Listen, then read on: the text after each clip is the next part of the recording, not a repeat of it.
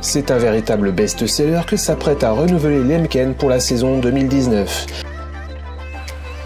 Après plus de 20 000 unités écoulées depuis son introduction en 2001, le déchômeur à disque Lemken Rubin se fait une santé et propose désormais une disposition de ses disques en losange. Des disques de 645 mm de diamètre ordonnés de façon symétrique sur deux rangées pour assurer une traction en ligne droite et limiter la consommation de carburant. Leur sécurité non-stop évoluée grâce à un système d'amortisseur réduit les sollicitations sur le châssis.